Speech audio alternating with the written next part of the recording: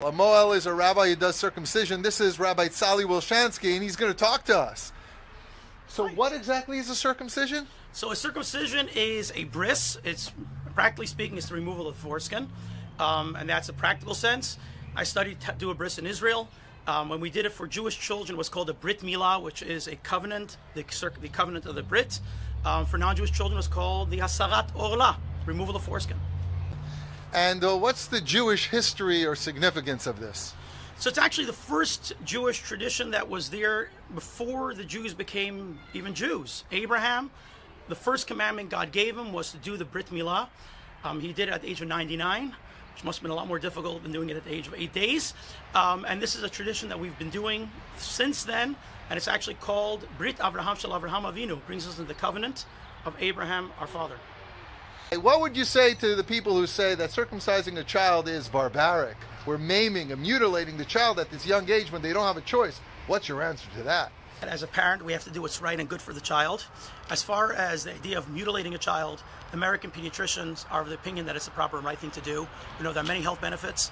Um, first of all, urinary tract infection is almost zero for children who are circumcised. Penis cancer is basically zero for children who are circumcised. As a matter of fact, in America, over 80% of the children are circumcised. Less than 2% of America is Jewish.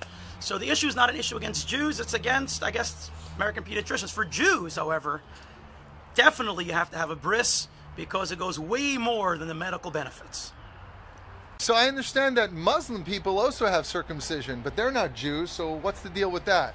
So as I mentioned, the mitzvah of circumcision of Brit Milah was given to Abraham when he was at the age of 99. His son Ishmael was 13. Traditionally, Ishmael was the father of the Muslims or the Arab world. So many of them have the tradition as well to do circumcision It's part of their religion.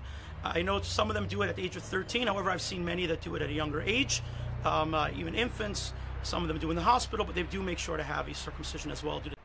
Rabbi Wilshansky, you say that a bris, a circumcision, is what binds us and connects us to our heritage and God. But what about women? Are they not connected to God? Our sages tell us that in the merits of the woman, the Nashim Tzidkani, as the Jewish people went out of Egypt. And it says in the, in the merit of the Jewish woman, we will be freed. Because women are nemanim. Women have true faith. When we say in our benching, on the bris that you stamped in our bodies, women recite that as well. Because women are naturally gifted with a deeper level of faith, and they are born brist, if you will.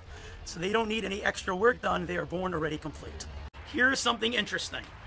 Circumcision has been practiced in the Jewish tradition for over 3,500 years. Uh, about 1903, Dr. Moses was the first one to discover and study the blood, and he was able to discover that eight days after birth is the highest level of nat- vitamin K naturally in the body.